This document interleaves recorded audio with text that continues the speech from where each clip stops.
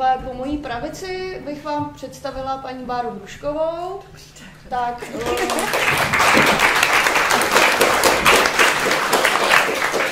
Eh, tímto i omlouvám vlastně pana Jakuba Zlámanýho, který, který měl vlastně tady být uh, jako další zástupce odborníků, z řad odborníků. Tadyhle mám uprostřed Klárku a tady Báru.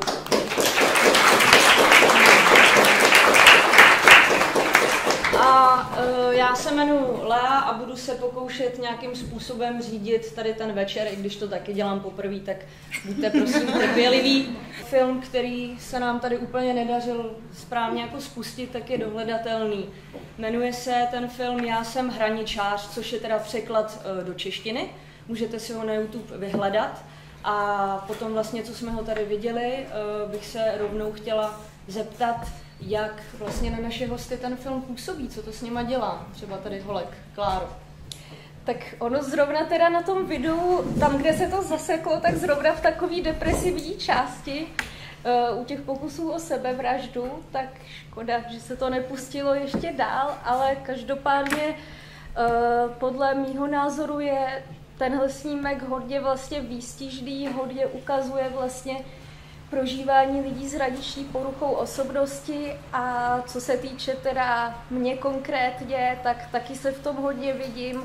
E, to, jak jsem prožívala hlavně vlastně před lety, mm, dřív, když jsem se dostala k psychoterapii a k nějakému zotavování a tak.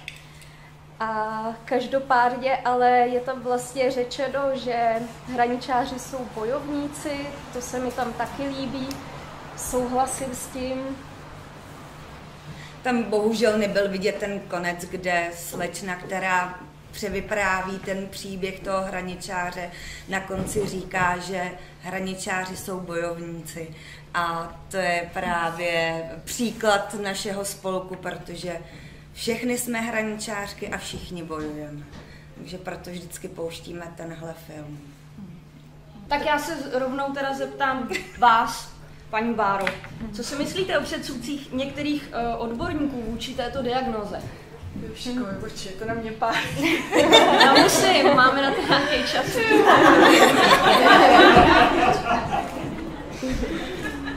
Dobrý večer. Myslím, že předsudky jsou jako prostě součást naší společnosti a samozřejmě jako se nevyhnou ani, ani odborníkům.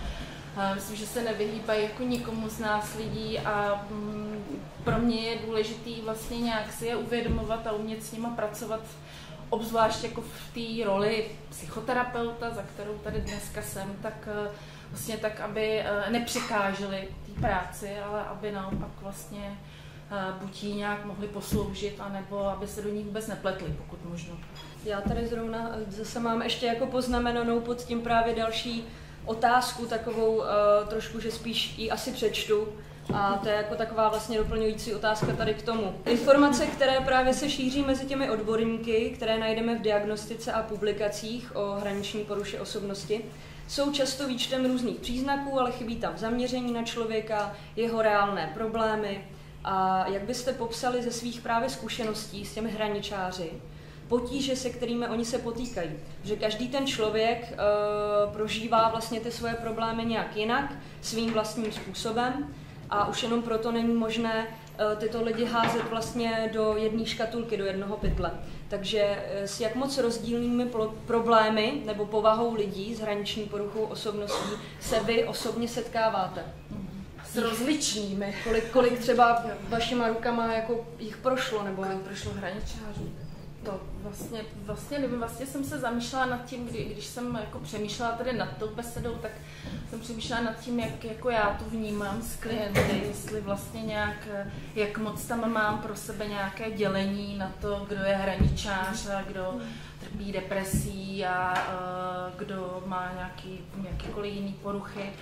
Uh, vlastně to asi takhle moc jako nevnímám. Vlastně to je něco, co spíš uh, se snažím odbourat, že mám pocit, že to překáží v té práci.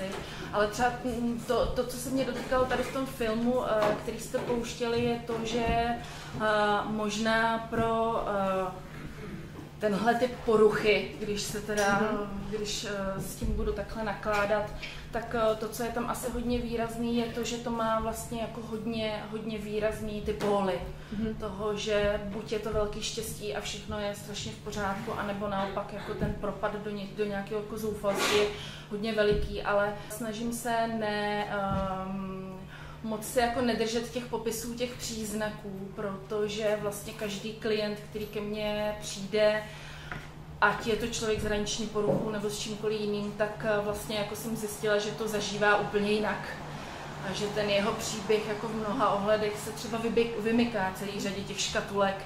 Někde do nich možná patří, někde do nich nepatří, ale um, tak uh, se snažím vždycky naladit na, na to, uh, s čím přijde ten, ten konkrétní člověk. Mm-hmm.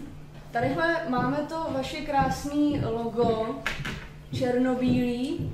No a tak se holek právě zeptám, jako co oni si myslí vlastně o tom černobílém světě, o tom černobílém vnímání těch uh, lidí s tou hraniční poruchou osobnosti. Vlastně nějaký to černobílý vnímání a pohybování se vlastně mezi různýma extrémama, jak už tady naznačovala Bára, štěstí nebo nějaký hluboký smutek a zoufalství, nebo často vlastně uh, se to týká i právě těch vztahů, uh, asi většinou nějakou první informaci, co si třeba přečtou lidi o téhle diagnóze, tak je, že vlastně uh, hraničáři často ty druhý lidi buď úplně milují nebo nenávidějí a že se vlastně pohybují mezi těma extrémama.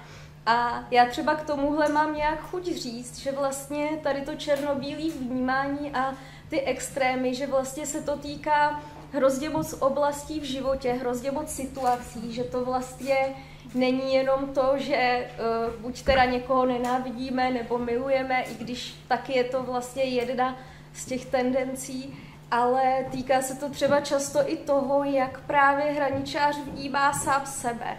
A když třeba uvedu nějaký příklad, tak mm, co je třeba hodně typický, tak vlastně e, člověk s touhle diagnózou, e, jak jsem to třeba prožívala i já, tak když třeba něco se mu povede, zrovna má třeba nějaký úspěch ve škole, v práci, nebo má nějaký šťastný vztah a zrovna je to dobrý, tak sám sebe vlastně může nějakým způsobem považovat za dobrýho nebo se neodsuzovat, ale v případě, když přijde právě nějaká třeba maličkost, nějaký malý neúspěch, tak vlastně hned se jako přesune do toho druhého protipolu a začne si připadat vlastně špatný a nevnímá už vlastně jako ten celek, nevnímá to, že někdy uspěje, jindy ne, že je to vlastně nějaká normální součást života. A třeba i právě jako k tomu vztahu k druhým lidem, tak stačí někdy právě, to vlastně bylo i naznačené nějak v tom snímku, s někým se bavím, on se podívá na hodinky nebo do něčeho se zakouká a vlastně já mám hned tu představu, že ho třeba nezajímám a je to vlastně jedna jediná situace, podle který vlastně nějak soudím ten jeho vztah ke mně. A zároveň teda, eh, když o těchto tématech mluvím, tak ráda zmiňuji, že s tímhle je možný pracovat, je možný vlastně docílit nějakého propojení vlastně těch protikladů a extrémů a pracovat vlastně s tím, aby, abychom nevnímali černobílé, ale abychom vnímali právě všechny ty barvy a nějaký ten celé. Mhm. Já se zase obrátím tamhle na odbornou část tady naší věci a chtěla bych se zeptat, jestli, jestli Váro, uh, vyloženě, když si vzpomenete třeba právě na ty lidi, který vám prošli teda pod těma rukama, když to takhle řeknu, jestli byste mohla třeba právě vypíchnout nějakou uh, silnější stránku toho člověka. Když budu myslet na uh, svoje klienty, o kterých vím, že uh, uh, to, to, s čím přicházejí, nebo to, jak se to jmenuje, je hraniční porucha, uh, tak uh, hodně se mi to spojuje s tím, co jste říkali, že je na konci tady toho filmu, a to je to uh, být bojovník. Protože vlastně to vnímám, že to je uh, extrémně náročný na život, takováhle věc.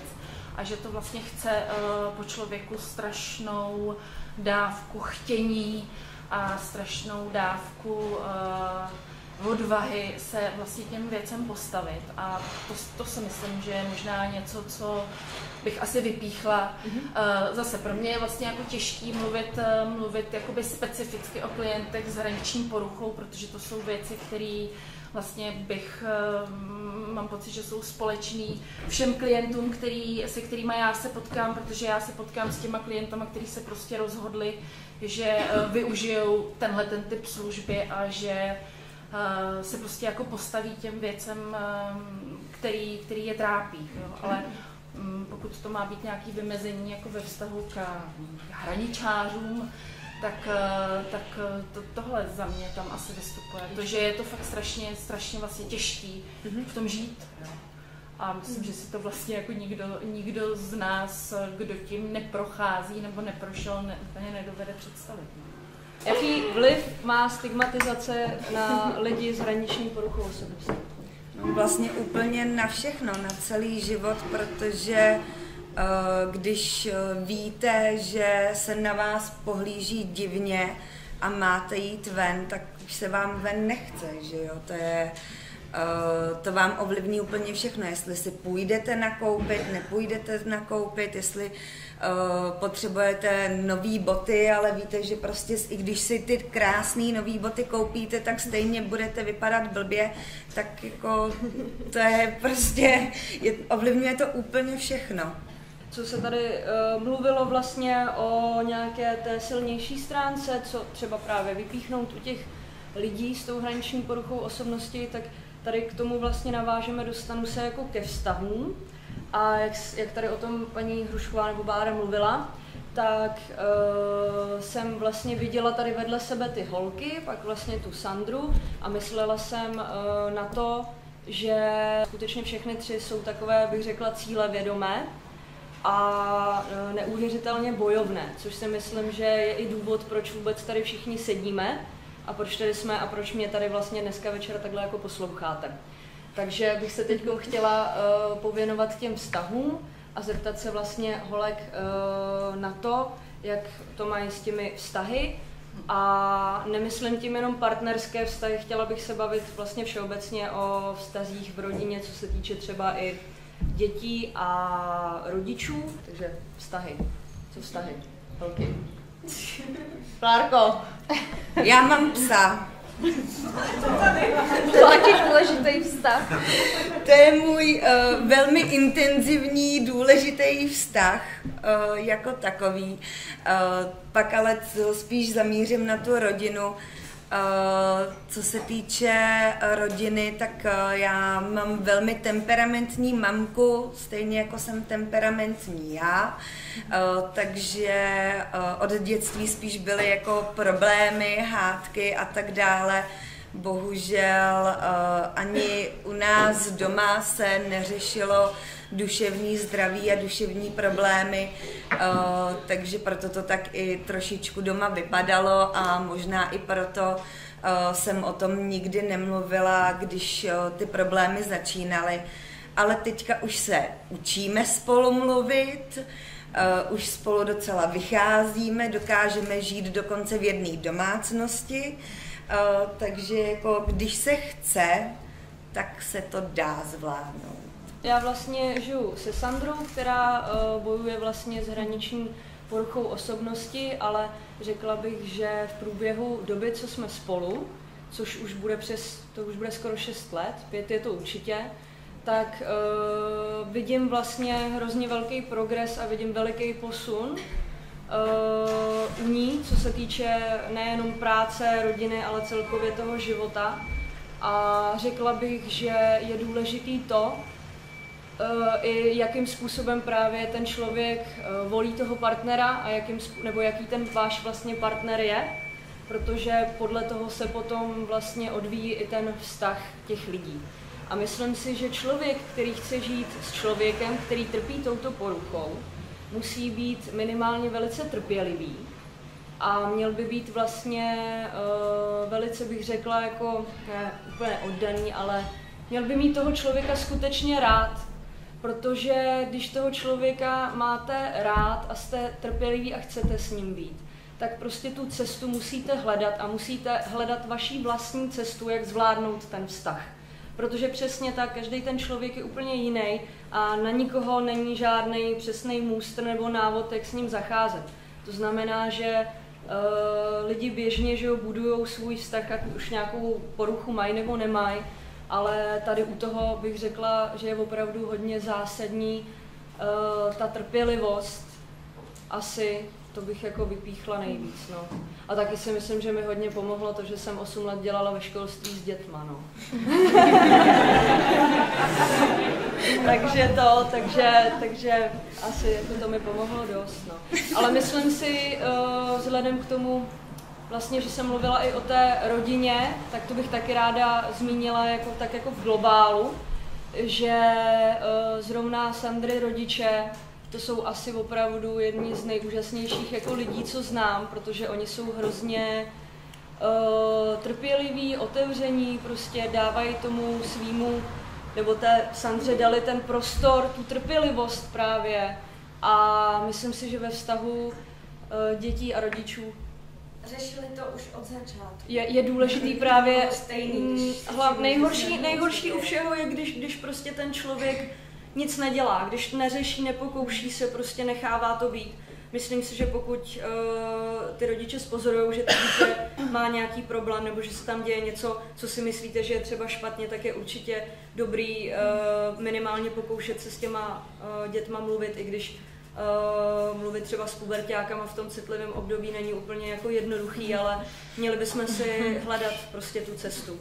Měli bychom minimálně zajít i sami, když ne s tím dítětem za nějakým odborníkem, poradit se. No, Takže si myslím, že, že i, i to jako díky té době, ve které žijeme, uh, že to nám umožňuje vlastně získat si ty kontakty a najít si ty lidi, kteří nám pomůžou když je to zapotřebí. Co bych třeba určitě jako řekla, že je důležitý v tom partnerském vztahu, tak kromě trpělivosti a kromě vlastně toho vědomí, že ten hraničář, i když třeba zrovna prožívá hrozný peklo a ani s ním to nemusí být jednoduchý, takže se může zotavit, že vlastně pokud sám na sobě chce pracovat, pokud oba chtějí pracovat na vztahu, tak je možný prostě, že se budou dít až zázraky. A tak je hodně důležitá nějaká přímá a otevřená komunikace. A když třeba jsem se zamýšlela jakoby nad tím, co mi třeba v některých vztazích právě chybělo, tak třeba to, když vlastně ten partner komunikoval nějak hodně jako nepřímo nebo nedával vlastně najevo jasně, co třeba cítí nebo co chce, takže to ve mně vytvářelo ještě větší zmatek a různý právě jako domněnky o tom, co si teda myslí a jestli mě má rád a tak dále. Takže tohle třeba je něco, co právě potom může naopak tu hraniční poruchu nějak prohloubit a e, potom vlastně ten hraničář se o to víc cítí třeba odmítnutý. Mm-hmm. Potom vlastně k těm vztahům s těmi rodiči, tak vlastně taky jsem zažila spíš to, že v tom období, kdy mi vlastně začínaly psychické problémy, se to neřešilo, bylo mi jasný, že rodiče o mě měli nějakým způsobem strach, nechtěli si třeba přiznat, že zrovna jejich dítě něčím takovým trpí nebo něco takového u něj začíná, ale právě jako musím říct odstupem, že určitě kdyby se to líp podchytilo už v tom začátku, tak, že by se to třeba u mě vůbec nemuselo vyvinout v tu hraniční poruchu, nebo nemusela bych to mít třeba tak těžký. Takže proto právě taky ráda předávám to, že je hodně důležitý vlastně s těma dětma komunikovat, mluvit s nimi o pocitech a ptát se je na to, co cítí, aby vlastně oni jako tam měli nějaký to bezpečný prostředí, aby se mohli svěřit, když je něco trápí a teda v případě, když už je to nějaká jako dlouhotrvající nebo těžší jako potíž, tak opravdu se obrátit na ty odborníky. Nemělo by to být tabu, mělo by se o tom mluvit. Mhm. A Báro, jakým způsobem vlastně uh, navazujete ten uh, terapeutický vztah vy s těmi klienty? mě jako napadá, že samo o sobě jakoby ty vztahy, to vlastně není ničím jako výlučný. Vztahy nějakým způsobem řeší prostě celá řada lidí, ne my všichni řešíme nějak naše vztahy. Možná to, co je vlastně jako um, na tom takový um, výrazný, je, uh, jak vlastně v tomto případě ty vztahy, který člověk má v tom svém okolí, jaký mají dopad na to, jaký má vztah sám k sobě. Jo, a to mám vlastně takový pocit, že to je možná něco, co uh, je pro to okolí taky těžký to nějak zažívat, pro toho člověka je to strašný tohle zažívat. A že vlastně tak, jak jste tady mluvili o tom, um, že je potřeba ty věci podchycovat včas, nebo že je potřeba prostě vytvářet nějaký prostředí, ve kterém se může mluvit o pocitech, ve kterém se může mluvit i v rámci rodiny o tom, jak to spolu máme, eh, jak, eh, jak vlastně se tam ty věci odehrávají, tak eh, i, i, i tohle mě vlastně připadá podstatný i potom pro tu pro to zotavení. Vlastně jakoby nějakým způsobem do toho zavřít celý ten kontext, nejenom toho člověka samotného, protože s celou řadou těch věcí si prostě člověk strašně těžko poradí jenom sám to, co funguje, bez ohledu na to, v jakém přístupu, kdo z nás psychoterapeutů pracuje, protože těch přístupů je celá řada, taky každý člověk si jako vybere to, co mu sedí líp. Ale eh, to, co eh, myslím je důležitý dělat, je ehm, ponechat tam hodně té lidskosti a toho, že ten vztah musí být nějak autentický, musí být transparentní v každou chvíli, musí tam být prostor pro to mluvit o všech těch věcech. Uh, a um, nemá být uh, nadřazený ve smyslu, možná proto jako nějak je pro mě zatěžko považovat se za toho odborníka, protože já vždycky mm, říkám, eh, já jsem odborník na to, jak vést rozhovor nějakým užitečným způsobem, ale rozhodně nejsem odborník na nikoho z těch lidí, kteří za mnou přijdou. Nevím, jestli je to takhle hmm. jako pochopitelný. Vlastně každý ten to je, člověk to je krásný je, přístup, si myslím. Každý ten člověk je vlastně odborník na ten svůj život a Určitě, na to, co to je prožívá. Takový, no. jedno z těch hmm. postmoderních našich hesel, že klient je expert na sebe a my jsme experti na ten rozhovor. Tak to, to je nějaký možná moje důležité východisko ve kterém, ve kterém pracuji. Takže ten, uh, myslím, že to, co se dá dělat v, v psychoterapii, je právě to budovat ten vztah, protože t, vlastně kolem toho se to hodně tak točí. Určitě si myslím, že, že to, že když už ten člověk uh, se vlastně dostane k vám nebo k nějakému tomu terapeutovi a zbytek třeba těch vztahů právě ne až příliš funguje, tak je mm. úžasný, když je tam aspoň tenhle jako záchytný bod. Mm.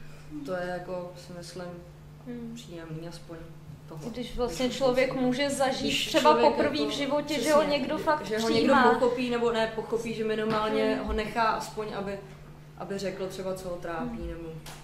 Tak, mám tady strašně důležitou, tučně vytištěnou otázku.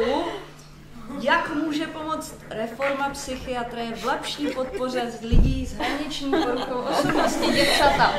Tak na to se musím asi napít. Tak se napí a odpovíte. Co si o tom myslíte, Báro?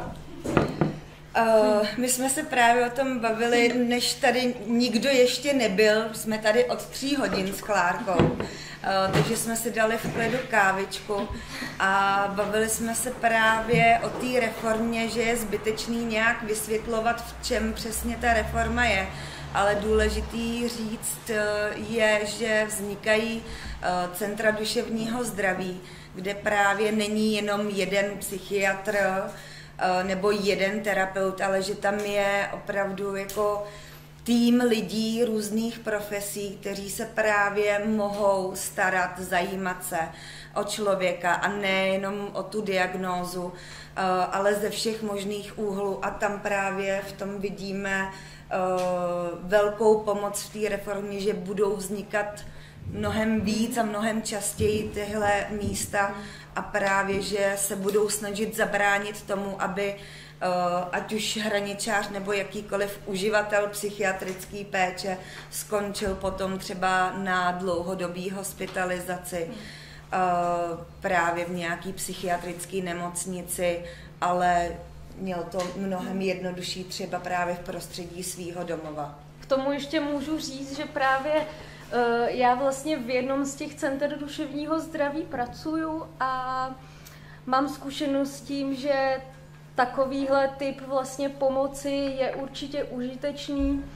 Může být užitečný pro lidi s hraniční poruchou osobnosti a nějak jakoby je důležitý taky to, aby vlastně uh, ti odborníci a členové těch týmů byli otevření k lidem uh, s poruchami osobnosti, protože uh, vlastně často tyhle týmy pracují hlavně uh, s lidmi s psychózou, schizofrenie, schizoafektivní porucha, bipolární porucha a tak, ale vlastně lidi s hraniční poruchou osobnosti často řeší podobné věci ve smyslu, že třeba bývají dlouhodobě hospitalizovaní, přicházejí o práci, přicházejí o vztahy, eh, nemají třeba dostatek financí díky tomu, že třeba mají problém si udržet nějaký zaměstnání nebo vypadávají právě kvůli hospitalizacím, různým depresivním stavům a tak.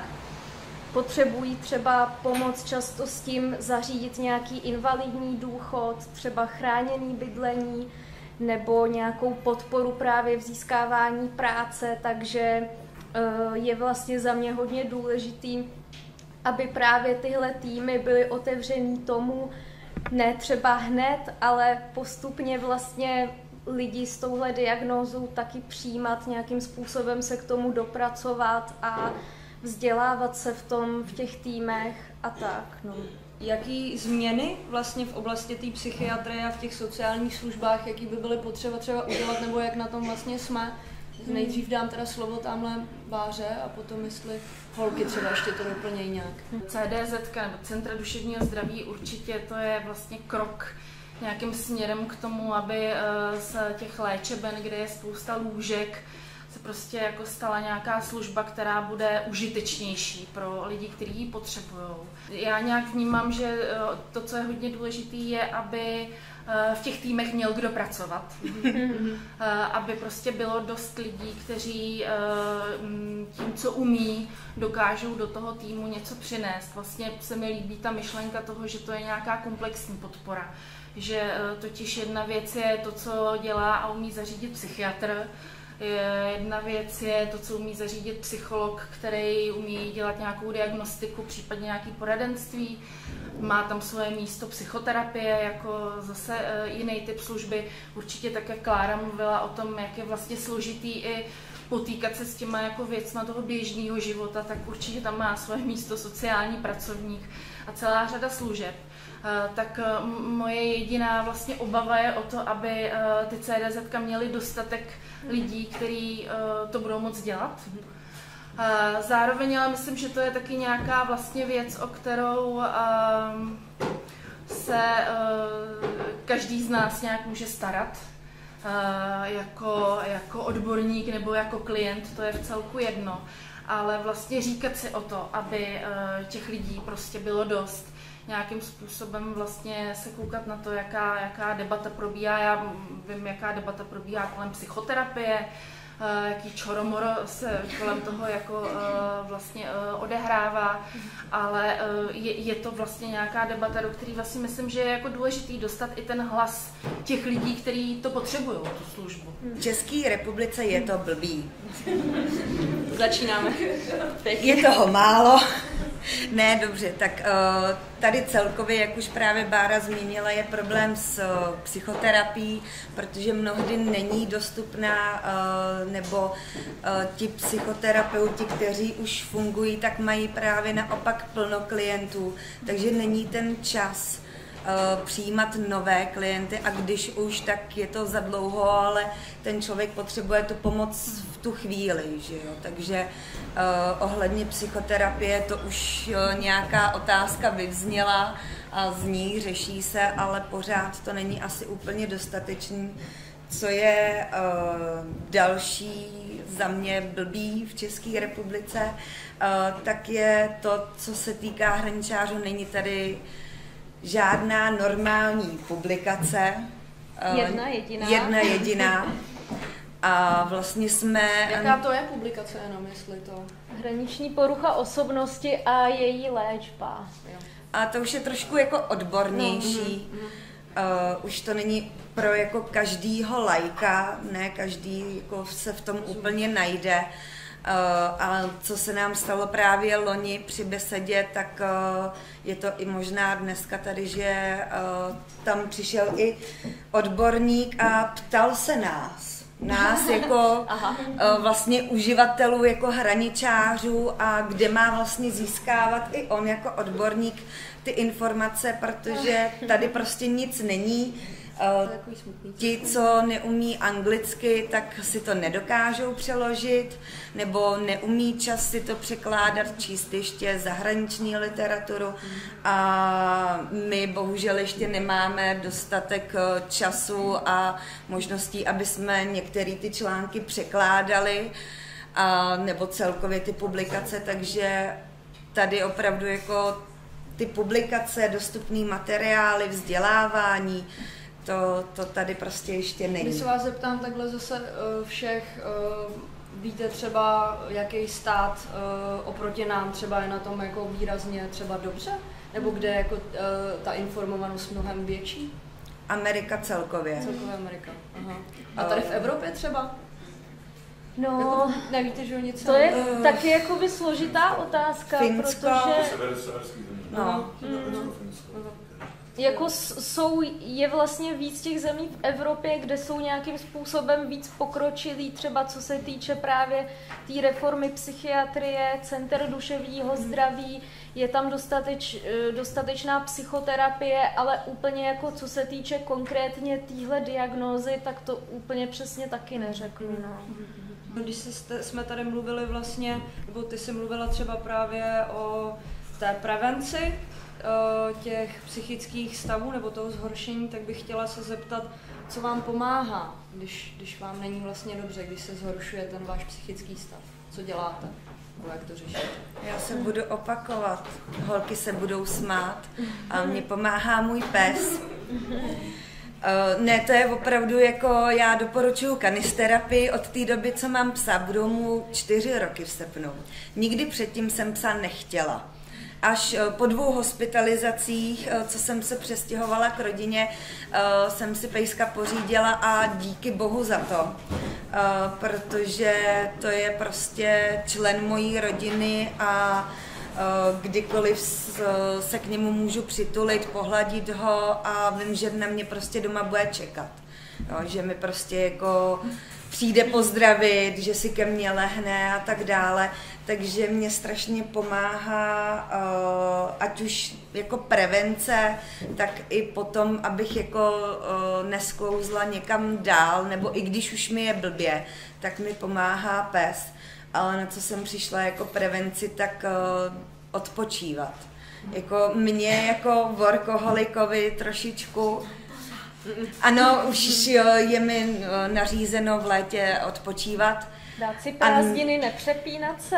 Ano, jo, tak to vidíte, já už teďka si dávám, jako už říkám, že mi pomáhá odpočinek a ještě ho mám nařízený, jo, takže...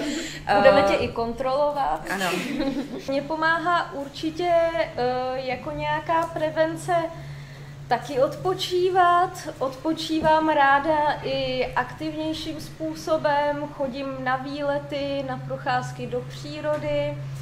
Eh, Můj pes, který je sice hraniční a impulzivní, mi taky pomáhá, protože jo, jaký pan takový pes asi, ale dokáže mi vždycky jako zlepšit náladu svojí energií a tím, že mě třeba kousne do ucha a tak dále.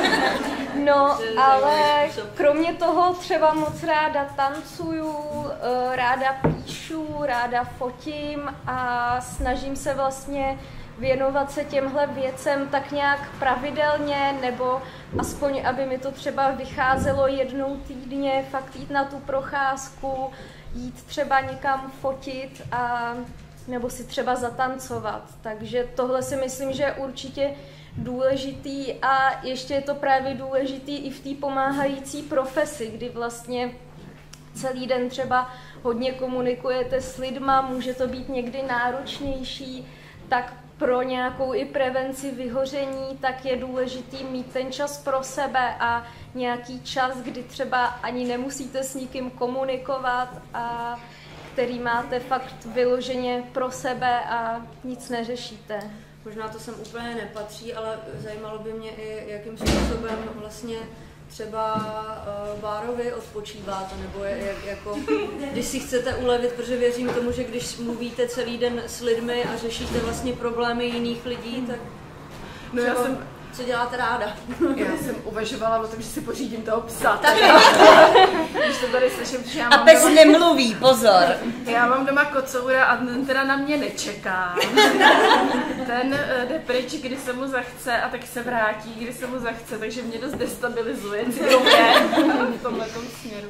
Tak jsem přemýšlela nad tím vlastně, ehm, jak eh, Bára tady říká, už mám nařízeno, že budu odpočívat a eh, jak vlastně všichni mluvíme o tom, že víme, že to máme dělat, že to jsou takové ty věci, co jako pomáhají jít na procházku, nevím, cokoliv, že jako jedna věc jsou ty uh, dobré a dobře míněné rady, které jako můžeme dostat od jiných lidí, eh, jako že to funguje, anebo to se přece říká, že to je to ono, co mám dělat.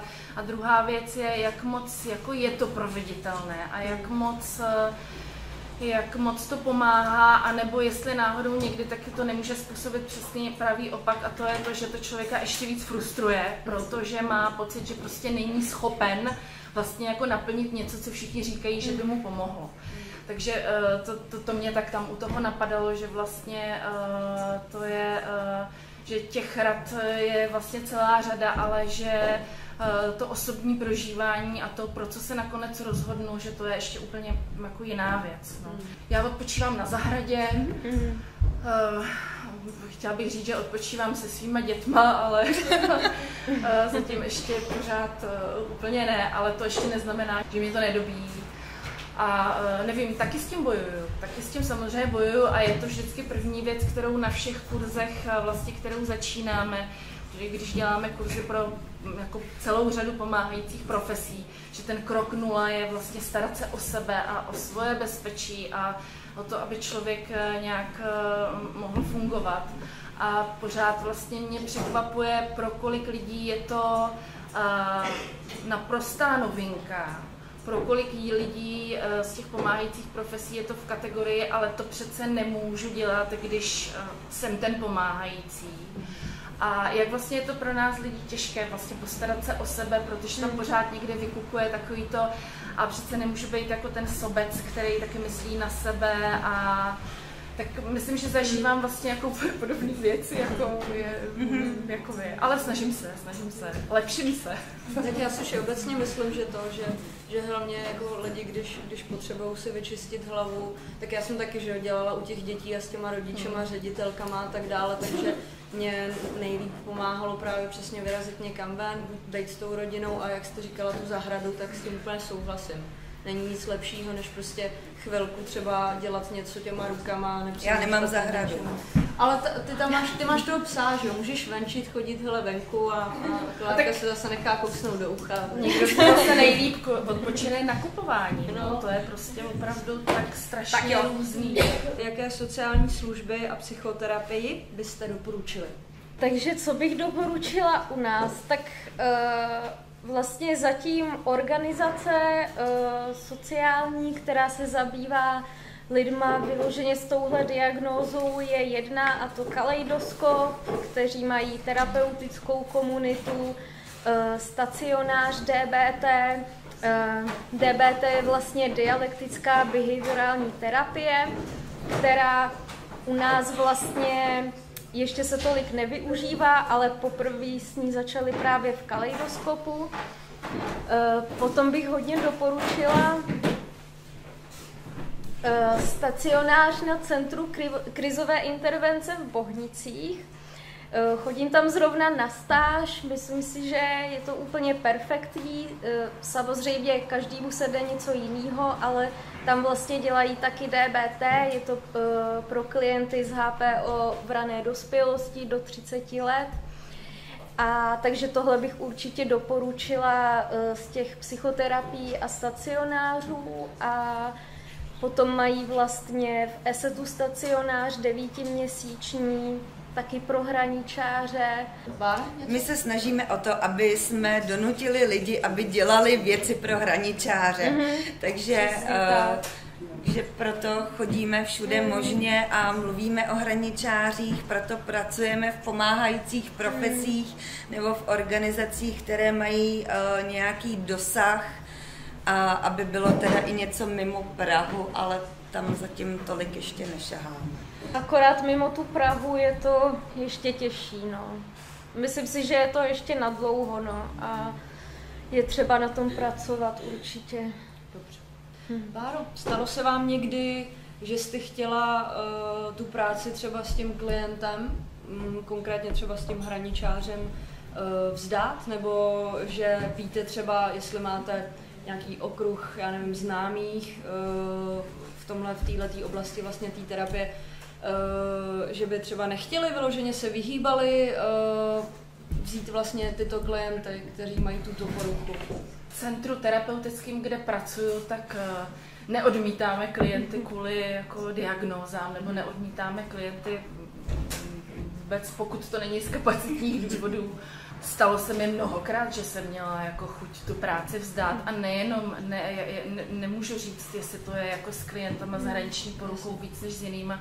Stalo se mi mnohokrát a děje se mi to, že nesu případ na supervizi a snažím se hledat nějaký způsob, jak v tom jako pokračovat dál, protože těch jako záseků v té terapii je prostě celá řada a, a vždycky, vždycky tam jdu jako s tou nadějí, že najdu něco, co pomůže mě i tomu klientovi, jo? že vlastně mě, pro mě je důležité, že to je nějaká péče o ten vztah, ne, e, která samozřejmě nějak souvisí s péčí o mě jako o terapeuta, ale i jako s péčí o toho klienta, který ho mám ale myslím, že se to prostě nám, psychoterapeutům, nebo aspoň těm, který znám, myslím, že se nám to prostě děje. Jo. A myslím, že se to ale taky děje na té straně těch klientů, že je, myslím, že i, i klientům se děje to, že mají chuť prostě uh, už uh, s tím terapeutem skončit. Nebo že uh, je to někdo, kdo jim prostě nesedne a ukončí to a jdou hledat někam dál, protože prostě není každý psychoterapeut pro každého klienta, protože každý z nás potřebuje něco jako trochu jiného. Takže děje se to, myslím. A ne, neberu to jako selhání, spíš to beru jako takovou jako výzvu a uh, myslím, že, jako, že to nutně k tomu patří, k té mhm. práci. Otázka na holky. Uh, co pro vás znamená zotavení? Jak tomu se, připojím? se vždycky zasměješ, jako... Protože jsme probírali spolu ty otázky, že jo, jako když jsme tady byli o tři hodiny dřív. Co se týče zotavení, uh, já jako nechci být nějak jako, nechci se přechválit, ale vždycky říkám, že jako se můžete podívat na mě, že to znamená zotavení.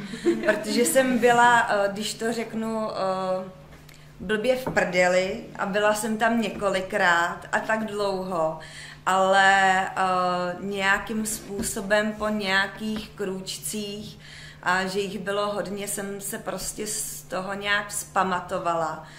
A, a teďka pracuju a, a vydělávám a mám toho psa a chodím na festivaly a chodím na kafe a chodím pořád na terapii a jako pokračuju dál, sice Uh, ne tak jako dřív, ale uh, i s tím špatným, ale naopak i s tím dobrým. A neznamená to, že už uh, to přesně bude chtít říct Klárka, neznamená to, že už mi nikdy nebude dobře, teda nebude špatně, výborně, že už mi nikdy nebude špatně, protože jako to se stává pořád, naposledy mi bylo špatně třeba včera, když jsem viděla ty rezervační listy. A, eh, ale jako už tak nějak vím, jak se s tím vypořádat, nebo právě naopak si dám pozor na to, abych prostě nesklouzla někam jako mnohem níž, než, eh, než by to bylo přípustný. Takže to pro mě znamená zotavení. Hmm. Tak já bych řekla, ve spoustě věcí bych teda se opakovala, mám taky zkušenost s tím, že Vlastně roky jsem byla v nějakých šílených stavech, kolikrát pro mě bylo těžké udržet si nějakou naději na to, že to může být někdy lepší.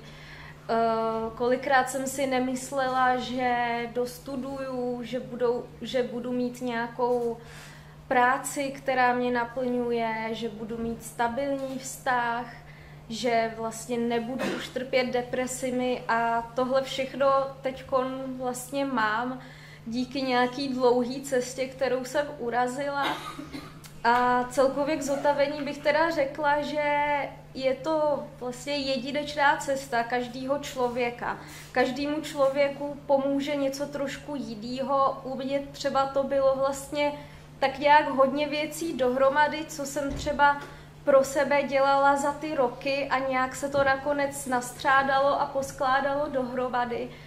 A uh, potom bych taky ještě řekla, že zotavení nebo ten proces Přirovnala bych to k pěstování rostlinky, kterou vlastně musíme zasadit, musíme být nějakým způsobem uh, trpěliví, musíme jít do nějaké nejistoty, protože vlastně nevíme, jestli nám ta rostlinka vyklíčí, nevíme, jestli děláme všechno správně, ale i přesto, že to vlastně nevíme a že jsme v nějaké nejistotě, tak ji každý den zalíváme, každý den se o ní staráme.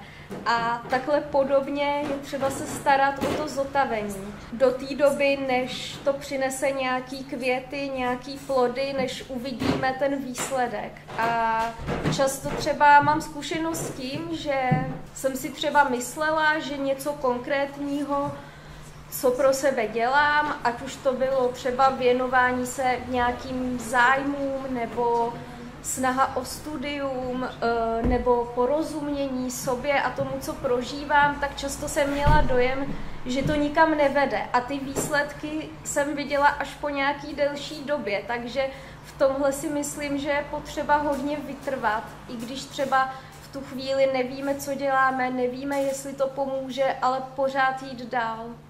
A teď je tady vlastně úplně taková hodně zásadní otázka, bych řekla a to je, lze se úplně vyléčit z této poruchy. A naproti sobě vlastně stojí ty dvě slova vyléčení a zotavení, jaký je v tom rozdíl. Takže komu mám dát mikrofon? Mně. Uh, já nemám ráda slovo vyléčit se. Za mě uh, to vůbec nepoužívejte, ale vůbec. Uh, tady můžeme opravdu Eh, říkat to zotavení, zotavit se z nějaké duševní nemoci, ano, to se dá, ale vyléčit se můžete z chřipky. Vyléčíte se, když vám odeberou slepák, přesně tak, jo, tak potom už ty problémy nemáte a jste v pohodě, ale jako z toho se opravdu vyléčíte. Z duševní nemoci uh, což když budeme mluvit o hraniční poruše osobnosti, tak uh, tam používáme opravdu to zotavení. No, kdybych si představila vyléčit se teda z duševní nemoci nebo z hraniční poruchy osobnosti, znamenalo by to asi to, že eh, člověk už nemá ty symptomy nebo nemá všechna diagnostická kritéria pro tuhle poruchu, podle výzkumu, výzkumy ukazují, že i tohle je možné, ale každopádně taky mám mnohem radši uh, pojem zotavení, vyléčení, to mi spíš evokuje vrátit se k nějakému stavu, co byl předtím, před tou nemocí. Ale každá taková zkušenost nás vlastně obohatí o něco nového, co bychom předtím neměli. A o tom právě je to zotavení. Ne vrátit se k tomu, co bylo předtím, ale vytvořit něco nového a může to být klidně i lepší život, než třeba před takovou zkušeností s duševním problémem. Eh, často tahle zkušenost nás právě třeba obohatí o to, že se člověk obrátí víc do sebe a že třeba zjistí díky tomu, co mu třeba předtím v životě nefungovalo, eh, co vlastně by měl u sebe změnit, nebo často třeba se to týká nějaký změny uh, postojů nebo hodnot, nebo hodně se to týká právě třeba vztahu k sobě. A mě třeba osobně zotavování dalo to, že jsem se začala mít daleko víc ráda, daleko víc jsem začala klást důraz na sebe a ne třeba na nějaký výkony, na to, abych byla úplně perfektní třeba ve studiu, jako jsem měla předtím sklon. Tolik jsem se třeba už nepřetěžovala a naučila jsem se vlastně víc pečovat o sebe, takže v tomhle se ten můj život nějak změnil. A teď jsem taky něco? No, mě k tomu napadá to, že um, pro ten terapeutický přístup, ve kterým já pracuji, tak je vlastně jedna ze zásadních věcí je to, jak se o těch věcech mluví, jak se ty věci nazývají a co je mluvení, které nějak je užitečné a co je mluvení, které už není užitečné. A z tohohle pohledu vlastně mluvit o zotavení uh, se mi zdá být daleko užitečnější, než mluvit o vyléčení protože uh, mám pocit, že to vyléčení klade takový jako tlak a nárok na toho člověka, který možná je úplně zbytečný a ne úplně uh, užitečný. Myslím, že mluvit o zotavení vlastně dává daleko větší smysl. Nejenom pro um, hraniční poruchu, ale pro jako, vlastně jakoukoliv potíž, protože e, to taky vlastně otvírá nějakou cestu k tomu, že to odzotavení může vypadat různě a že e, vyléčení možná často taky mi evokuje spíš ten jako medicínský kontext nějakých kritérií, podle kterých se to teda pozná, že už je člověk vyléčený, zatímco to zotavení vlastně poskytuje nějaký prostor pro to, aby ten člověk našel nějaký způsoby, jak se sebou zacházet, jak eh, se vztahovat k tomu, co, eh, co ho trápí, ať je to mm, jakákoliv porucha nebo cokoliv jiného. A vlastně eh, ten termín zotavení mám ráda. Tak, tady bude rychlá výměna teď zase. Protože otázka zní, jestli je něco, co ti bránilo v tom zotavení. A je to otázka na vás dvě. Já si myslím, že jsem si bránila já sama jako zotavení, protože uh, co mám zkušenost uh, takhle od ostatních hraničářů, tak uh, nejhorší je si uvědomit, že máte nějaký problém a říct si o pomoc a přijmout tu pomoc. A pokud se těmihle kroky člověk prostě nějak nesmíří a nezačne s tím něco dělat, tak uh, vlastně může zapomenout na to zotavení. Takže já si myslím, že já sama jsem si sobě bránila v zotavení, protože jsem nechtěla mnohdy vůbec jako přiznat, že uh, já se mnou je něco špatně. Že jako proč bych vlastně měla jako měnit celý život, když jako ta éra, kdy jsem uh, chodila do školy a do práce a pila a bylo to přece strašně fajn. Jo, jako to bylo takový bezstarostný období, ale už jsem nekoukala na to, že uh, jsem spala dvě hodiny denně a, a na to ostatní, ale to si myslím, že za mě jako bylo to ten největší problém, jako vůbec si připustit, eh, že něco špatně a začít s tím něco dělat. Já s tím taky hodně souhlasím. Eh, taky pro mě určitě bylo těžké říct si o pomoc. Taky jsem si vlastně sama sobě v tom zotavení často bránila a hodně se to třeba týkalo různých přesvědčení, které jsem právě měla z rodiny, eh, ze školy, přesvědčení, ve kterých vlastně žije velká část společnosti, že to duševní onemocnění je tabu, že je to něco, co, o čem by se nemělo mluvit, za co by se ten člověk měl stydět, že je to nějaká slabost a nebo že vlastně nic takového jako třeba deprese neexistuje, že to je vlastně jenom lenost. A že zkrátka to musím akorát překonat, fungovat na maximum a že si vlastně nesmím o tu pomoc říct nebo nějak projevit, jak se cítím. Takže to byly takové přesvědčení, které se mě hodně držely, i když třeba potom už spíš podvědomně, i když jsem třeba věděla, že vlastně na to mám nárok to řešit a říct si o tu pomoc, ale pořád jsem byla přesvědčená, že vlastně, že si to nezasloužím, že si třeba nezasloužím uh, přerušit školu, vykašlat se na nějakou dobu na povinnosti, přesně to období, jak popisovala Bára, škola, práce a tak dále. Ten kolotoč, tak pro mě bylo právě hrozně důležitý nějakým způsobem si uvědomit, že to, co teď potřebuju, je starat se o sebe, říct si o tu pomoc, nějakým způsobem to řešit a zaměřit se opravdu na sebe a ne na okolí. Jedna z předposledních otázek vlastně, která se dotýká toho zotavování.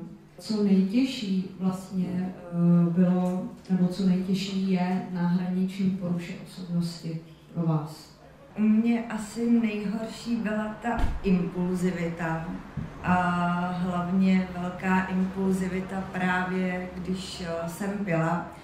Uh, ono i v těch diagnostických kritériích máte krásně napsáno, že uh, hraničáři mají velký sklon k závislostem.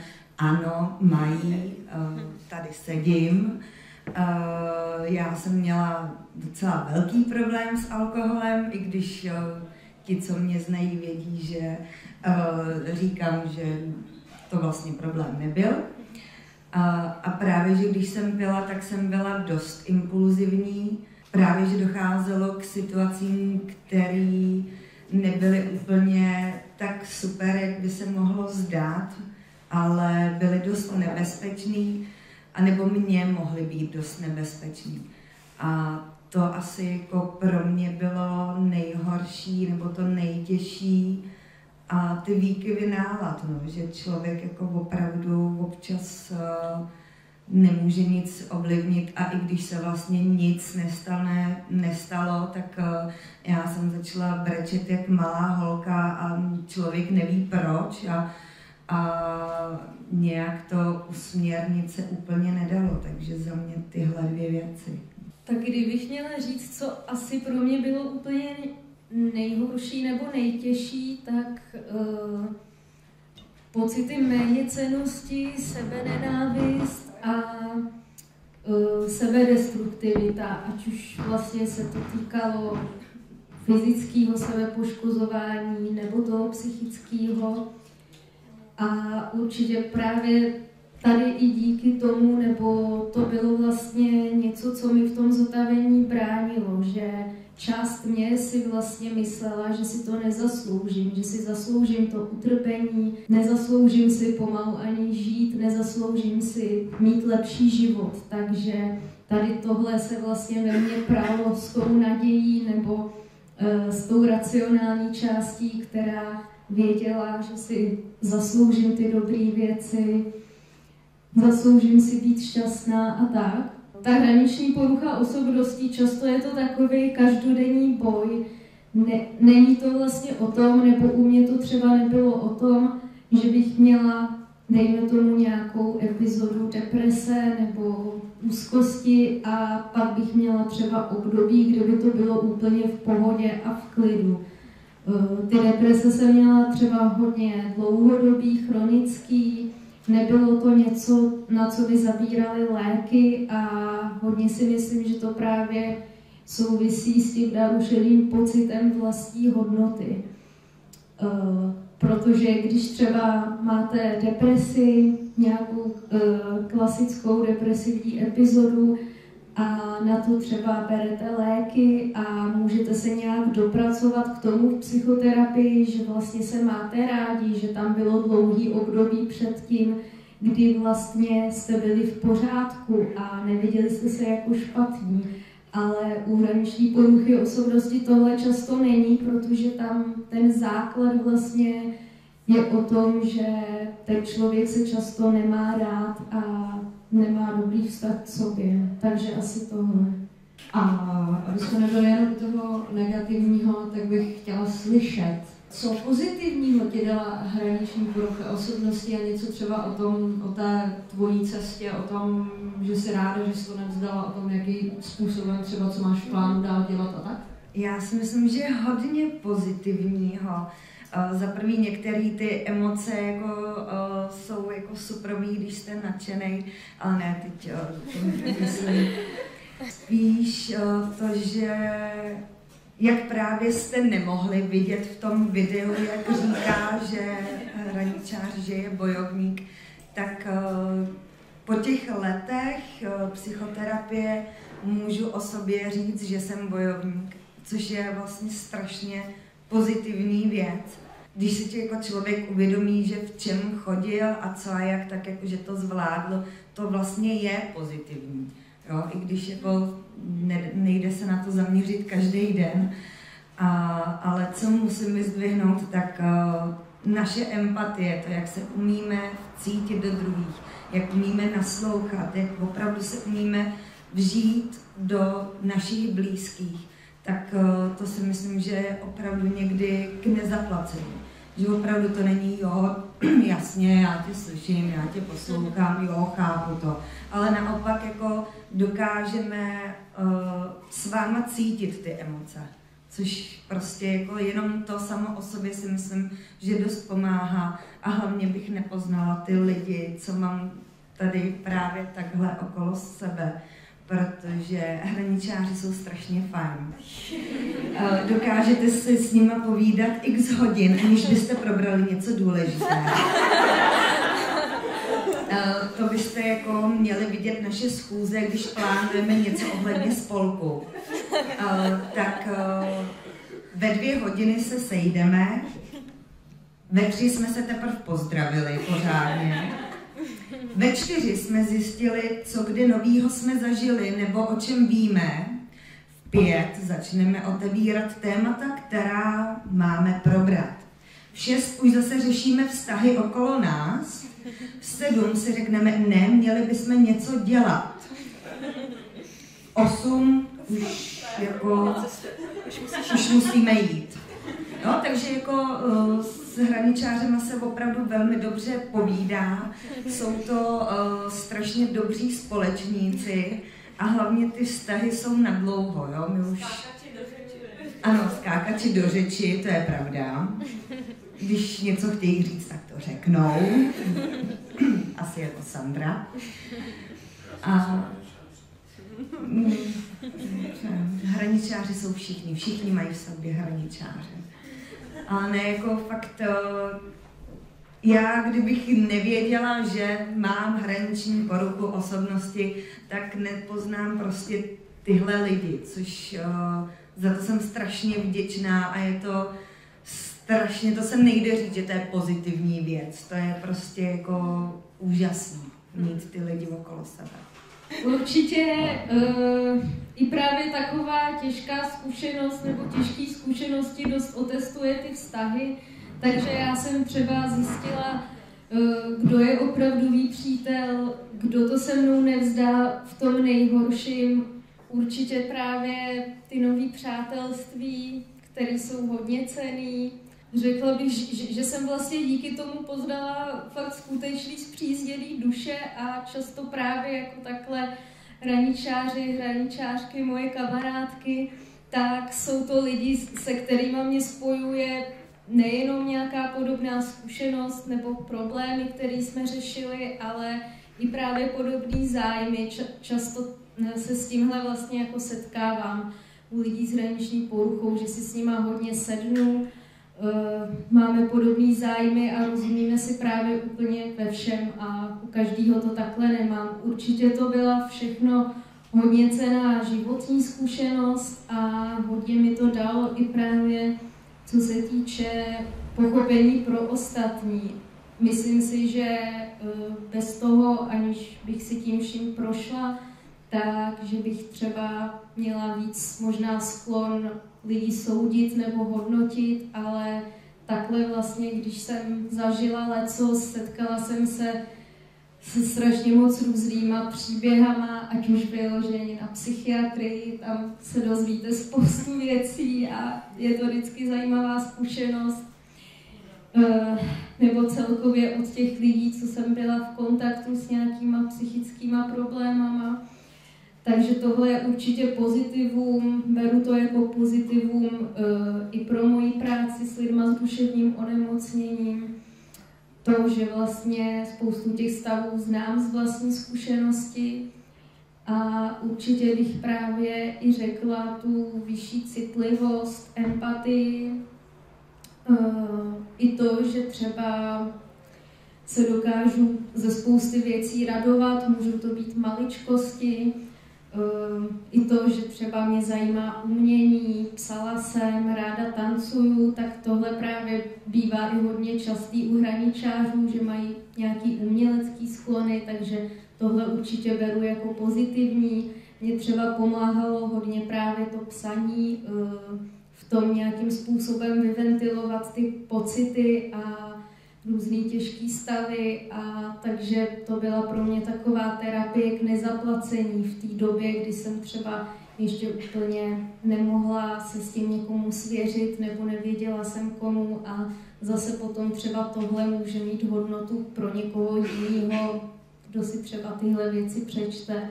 Tak, já vám moc děkuji za všechny ty odpovědi a tímto bych chtěla otevřít vlastně tady naší společnou diskuzi mě zaujalo to negativní vymezení názvu vašeho spolku. Nejsem psychopat.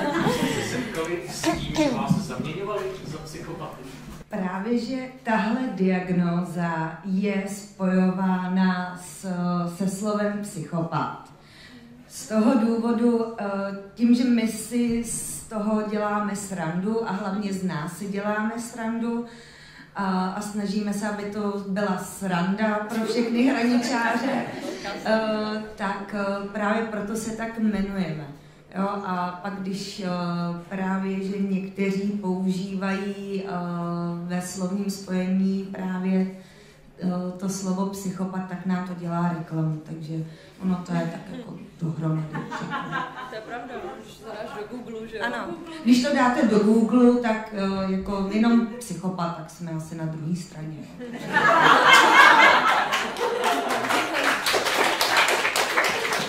A když zkusíte hraniční psychopat, tak jsme byli, myslím, hned Ano, jako druhý Druhý, odkaz. druhý odkaz. Já se chci zeptat asi přímo tady paní psychoterapeutky. Bádetaj. Už tady byl vlastně nakousnutý to, ten abuzus těch látek. A jak vlastně pohlížíte vy jako odborník vlastně na užívání návykových látek, drogy, alkohol, léky plus hraniční porucha osobnosti? No, mě tady běžely hlavou nějaké věci, když holky mluvily o té vlastně svojí zkušenosti s tím, jak, jak, to, jak to každá z nich zažívá nebo zažívala. A, a, a něco, možná co se k tomu váže, mi běželo v hlavu, když tady padla ta otázka o tom, co brání tomu zotavení. A myslím, že jedna z věcí uh, viděno skrz tu mojí profesi, která tomu jako brání, je, uh, že je tam jako velký nebezpečí, uh, že já jako psychoterapeut sklouznu do toho, že začnu těm lidem říkat, že to není dobře, že pijou, a že to není dobře, že se řežou, a že to není dobře, že nejedí, nebo prostě cokoliv, jakýkoliv abuzus tam jako je ve hře. Takže pohlížím na to asi tak, že to je prostě nějaký asi doprovodný jev, který k tomu patří. Eh, pohlížím na to tak, že eh, často to je něco, eh, co je to jediné, co těm lidem uleví v tu chvíli. A že není možné jim to prostě sebrat, aniž by za to měli nějakou náhradu. Zároveň ale si uvědomuji, že tenhle ten pohled má jako celou řadu systémových omezení že taky není úplně tak jako možný ty lidi podporovat v tom, aby v tom dál pokračovali, ale že je to vlastně jako strašně složitý pomoct těm lidem najít něco, čím tyhle ty věci nahradit, tak aby už to mohli přestat dělat. a vždycky vycházím z toho, že kdyby, kdyby měli na výběr a věděli, že existuje něco lepšího, co v tu chvíli můžou udělat, tak by to zcela určitě udělali.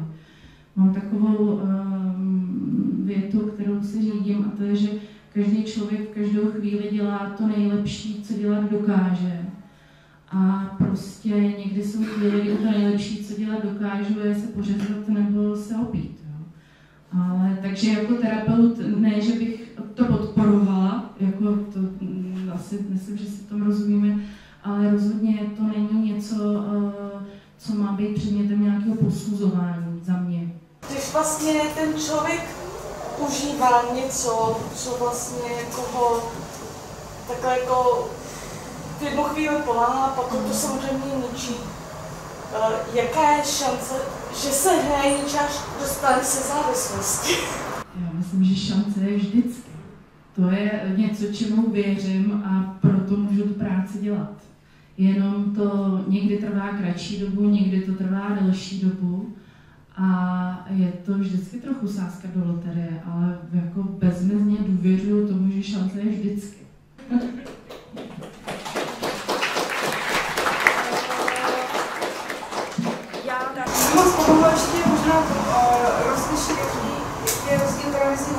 Bipolární. Bipolární porucha je porucha nálady, kdy se vlastně střídají depresivní fáze a manické fáze. Rozdíl je hodně třeba v tom, že uh, tyhle fáze trvají obvykle díl, než třeba u hraničáře můžou trvat výkyvy nálad. U hraničáře se může nálada vystřídat během prostě několika hodin od úplné euforie po nějaký zoufalství nebo depresi.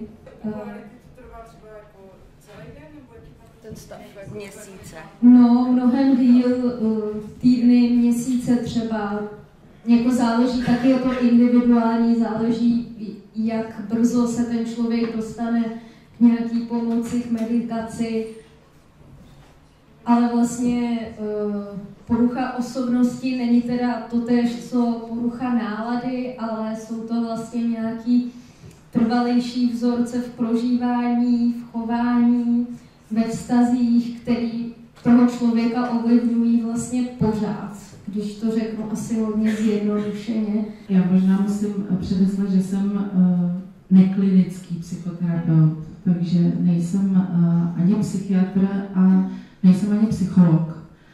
A uh, vlastně z hlediska psychoterapie to nepovažuji zase až tak úplně za důležitý, jestli uh, člověk přijde s bipolární poruchou nebo hraniční poruchou, uh, protože, tak jak už to tady padlo, to, to, to, po čem se pídím, je to jeho prožívání. Ale v zásadě myslím, že to, co říkala Klára, že, i, že bipolární porucha je jako nějak vlastně eh, ty, ty stavy v tom čase jsou uh, delší než u hraniční poruchy, ale jako rozhodně tady se nechci vydávat za uh, experta psychiatrického, to nejsem, takže...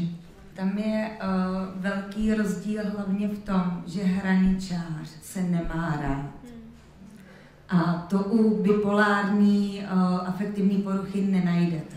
Jo, může mít nějaký výčitky na uh, výčitky svědomí, může se obvinovat, ale uh, co je to stěžení, tak to je to, že se nemá rád hraničář. Jo, a to je potom obrovský rozdíl, proto se to jako hodně zaměňuje. Ano, i u hraničářů mohou být ty uh, stavy delší než jenom hodin. Může být ta depresivní fáze i několika týdnů ale mm, v čem to je opravdu jiný, je v tom, jak uh, zacházíme sami se sebou. Já mám ještě otázku, která se stavuje k těm závislostem a k nějakým uh, zvládacím mechanismům. Um, já to se s hraničáři nebo i lidmi s podobnou diagnózou, kteří praktikují BDSM a má to nějaký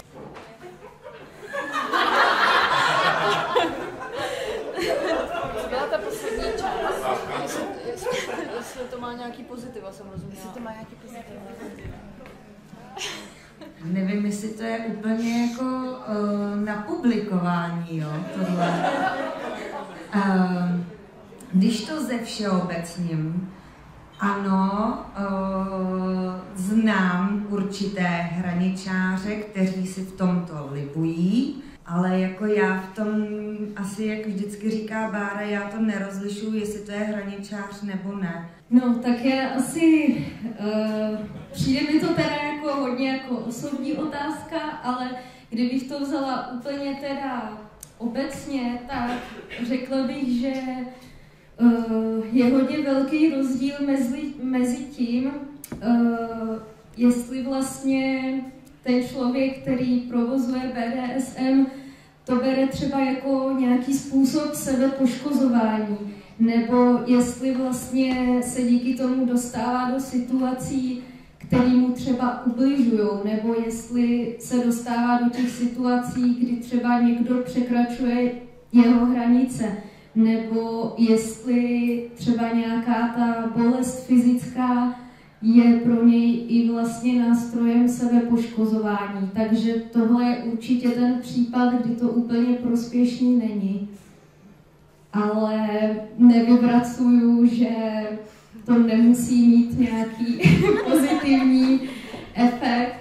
Mně třeba přijde důležitý, eh, když má člověk, ať už je to třeba jiná sexuální orientace nebo preference, nebo jestli je to třeba to, že vlastně eh, se cítí jako jiné pohlaví, tak v tomhle mi přijde hodně důležitý dospět vlastně eh, k tomu přijetí toho, jak to mám. Mně přijde důležitý vlastně eh, se podívat na to, jestli, jak to vnímá ten člověk, jestli to je pro něj nějaká strategie zvládání.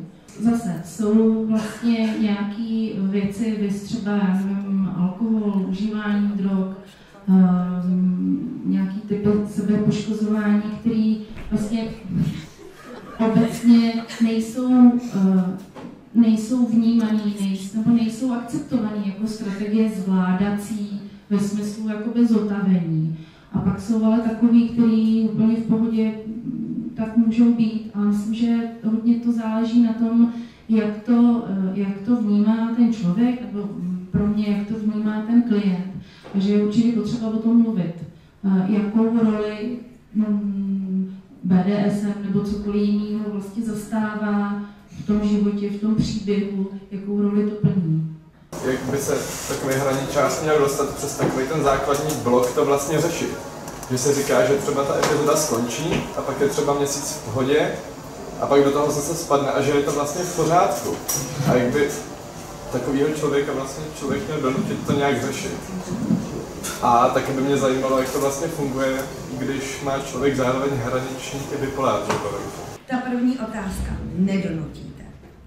Uh, hraničáře nedonutíte, musí se na to přijít sám.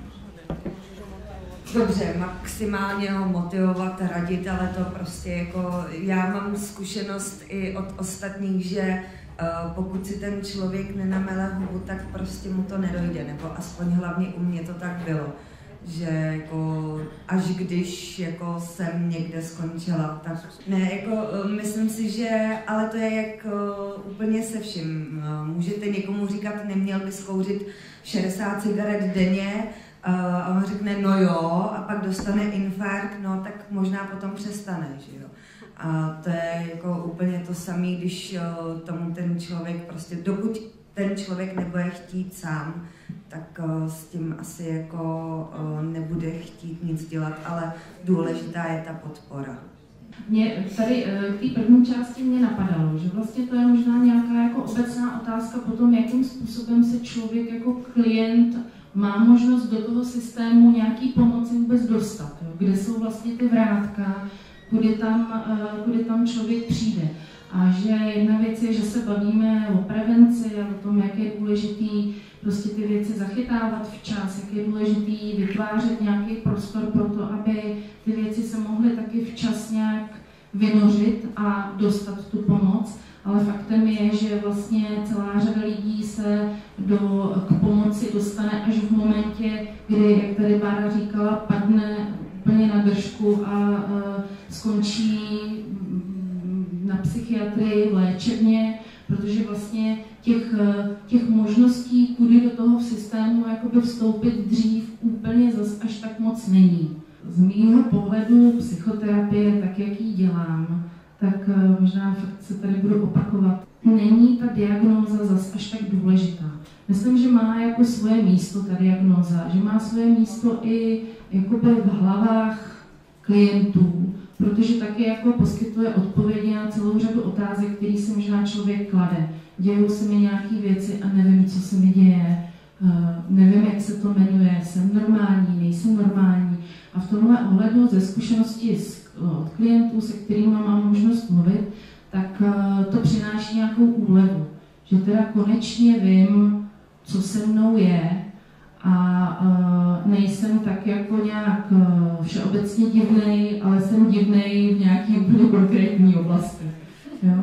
Ale vlastně pro, pro tu psychoterapeutickou práci pro mě tohle není zas až tak podstatný, protože to, na co se zaměřuju, je to prožívání. Ta, ta míra toho, kolik té diagnózy tam vnášíme, je taky hodně jakoby určovaná tím, kolik té diagnózy tam potřebuje a chce vnášet ten klient. Jo, a vždycky se vlastně snažím ale oddělit nějak tu diagnózu od toho klienta, protože člověk je člověk a problém je problém.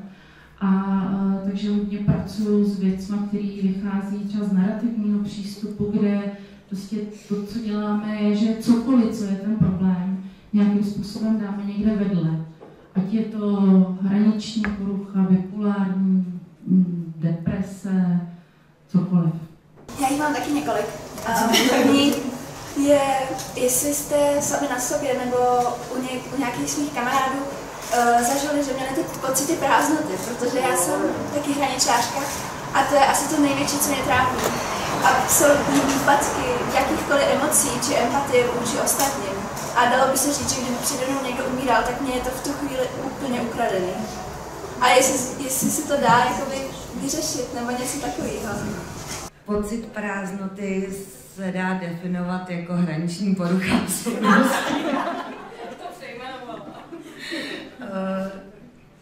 my třeba s Klárkou eh, máme zkušenosti, že eh, chodíme jako na besedy a snažíme se některým lidem jako vysvětlovat, co to je pocit prázdnoty a ono jako to se dá těžko definovat, ale vy jste to řekla fakt suprově.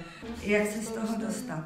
Já to řeknu z mýho života, dělat sám se sebou jako pořád něco.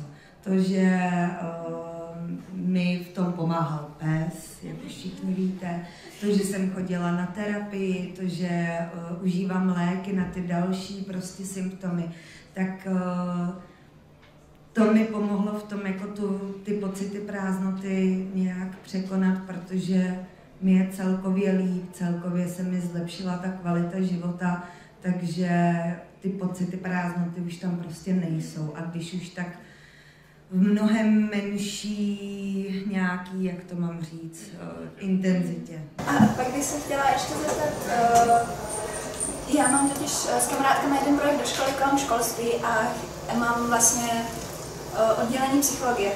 A já to samozřejmě můžu zapsat, zapsat na, na sebe, ale taky by mě zajímalo váš vlastně pohled, když jste chodili do školy, jak jste to zažívali s tou hraniční poruchou.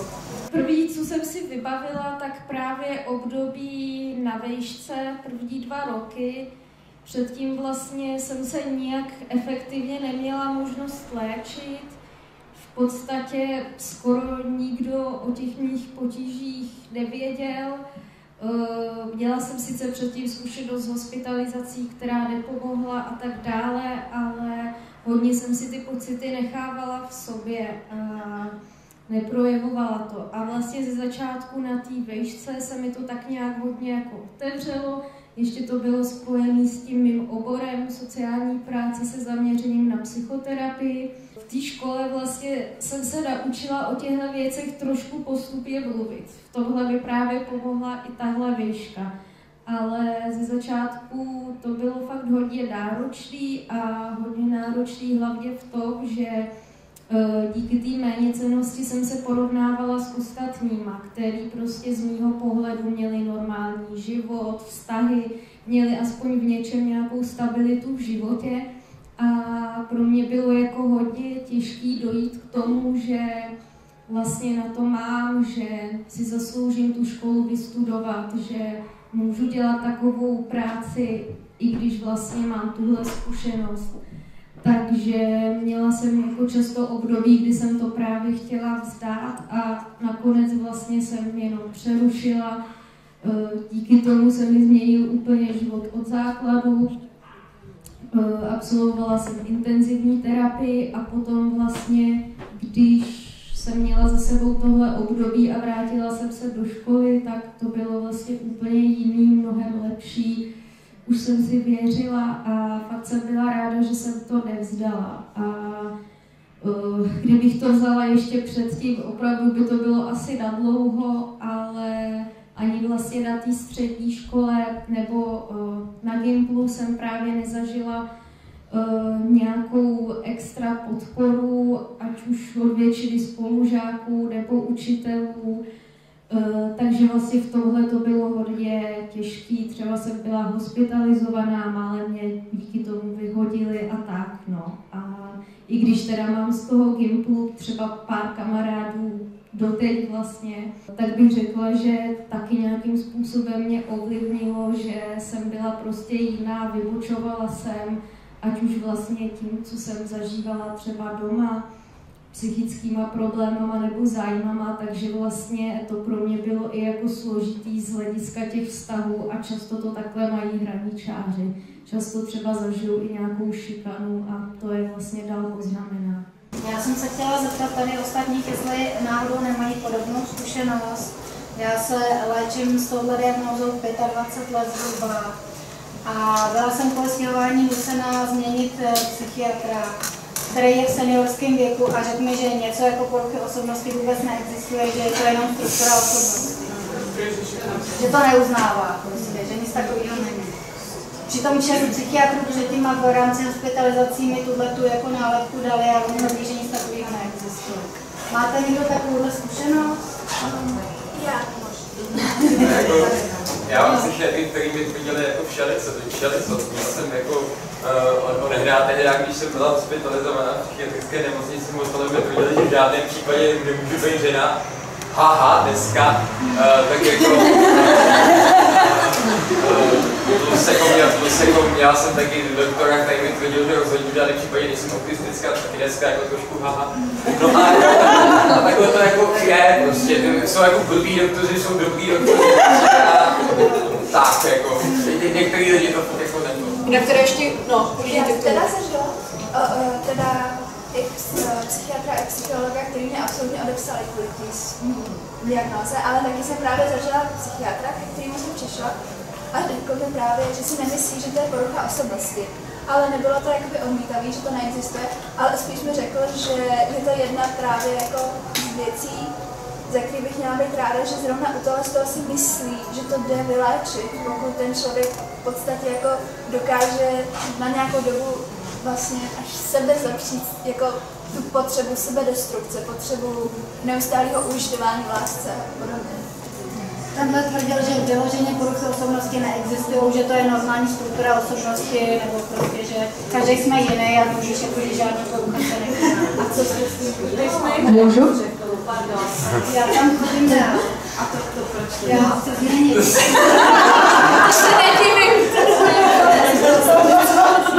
Že ho chci změnit. Jo, tak to chápu, no. Ono možná záleží na tom, jak to přesně myslel. Jestli to třeba nemohu myslet tak, jako o tom mluví tady Bára, že vlastně nevnímá toho klienta pod nějakou škatulkou, anebo jestli to bral tak, že nějakým způsobem uh, nevnímá nebo neuznává to, čím se trápíte a že to je nějak reální. V tomhle případě bych ho určitě taky změnila a stává se to bohužel, no.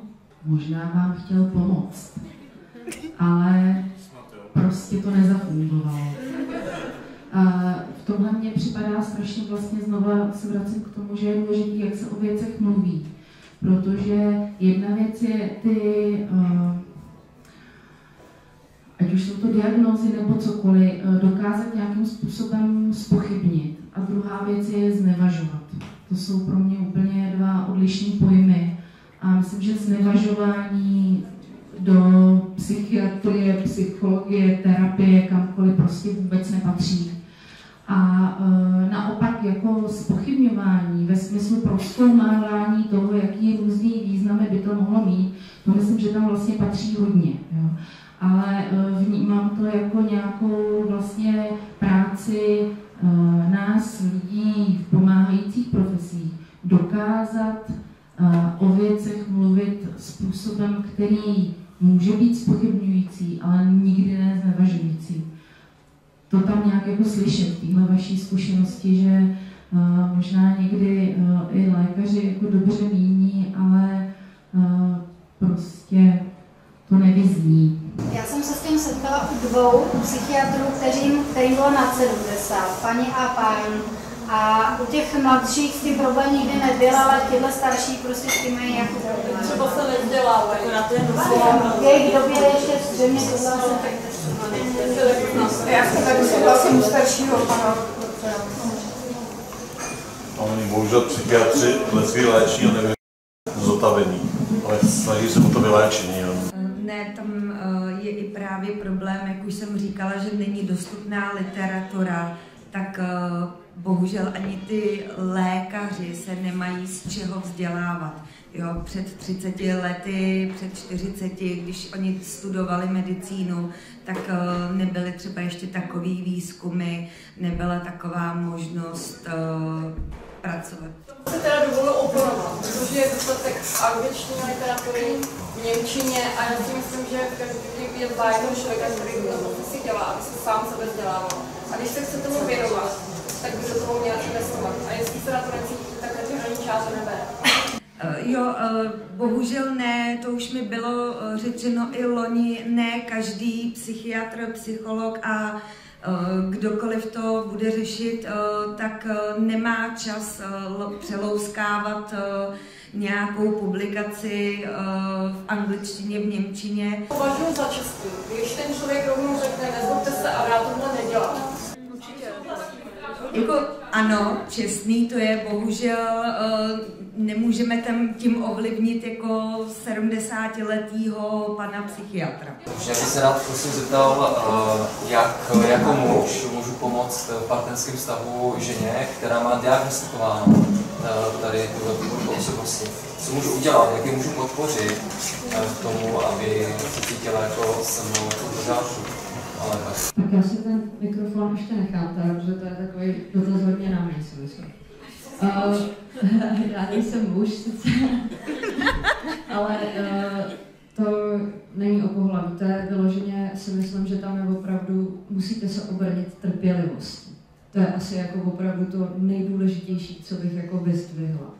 A pokud máte tu ženu rád a chcete s ní být, tak tu cestu musíte hledat a musíte prostě vydržet. Já nevím, nevím, jak bych vám to jako líp řekla, přiblížila. Je třeba uh, i dobrý, si myslím, no komunikace, tady říká moje partnerka, jistě, že Komunikovat je zásadní, ale myslím si, že uh, je důležitý, aby ten člověk uh, cítil z vás tu oporu, to, že tam jste, a aby třeba, když je nějaký afekt na blízku, nebo když vidí třeba, že ten člověk prostě, že to není vlastně on, protože ty lidi, ty hrančáře, když, když mají nějaký problém velký, tak oni se vlastně promění a najednou to není ten člověk, se kterým žijete, ale stojí tam nějaký hajt, prostě, který ho vůbec nechcete. Ale ten hajt, eh, to je ten váš partner a vy musíte nějakým způsobem ho zatlačit zase zpátky. A myslím si, že hodně pomáhá, pomáhá uh, prostě toho člověka buď to chvíli třeba nechat, dát mu ten prostor, podejít, ať on se vysteká, nebo ať tam dělá cokoliv, když si samozřejmě, aby se neublížil. A nebo nějakým způsobem sklidnit, obejmout tu ženu, dýchat třeba prostě zubouka, nebo, nebo já nevím, pomáhá třeba uh, i na děti všeobecně takový ty konejší výběh, jakoby, uh, věci i na, ty, na toho člověka, když mu není dobře, pomáhá brokání nebo zpívání nebo vyloženě to, když prostě dýcháte, držíte toho člověka, aby on věděl, že tam jste, aby se sklidnil, nebo aby se sklidnila ta žena.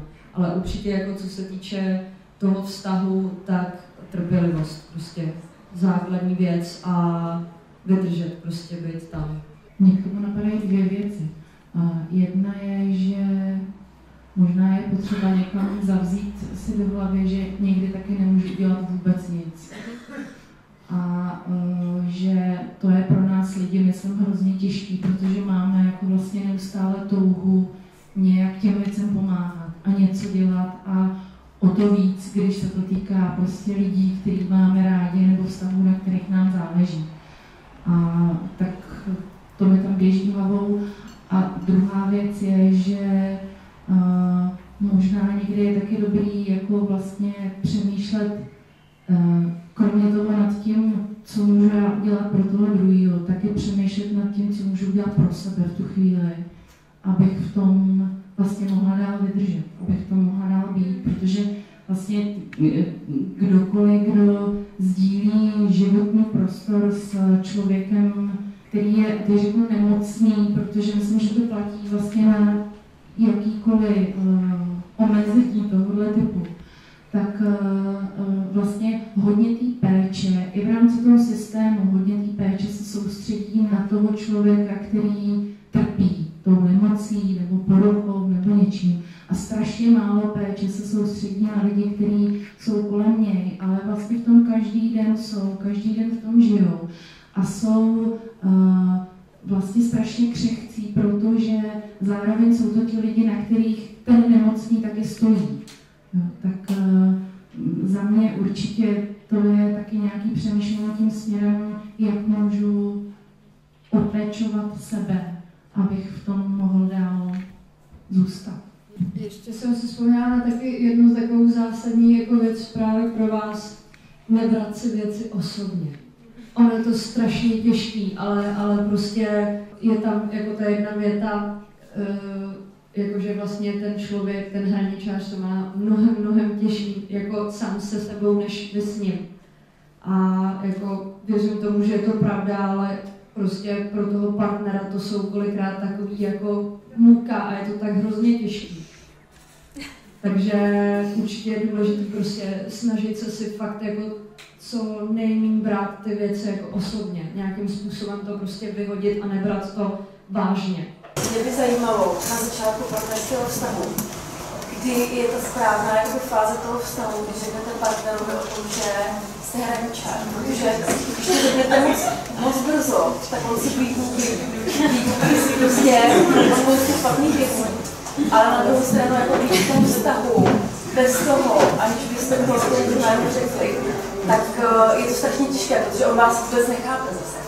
By mě zajímalo, jako jaký je nejlepší přístup, jako když se rozhodnou, že to říct. Hned. Když uteče, tak za to nestojí.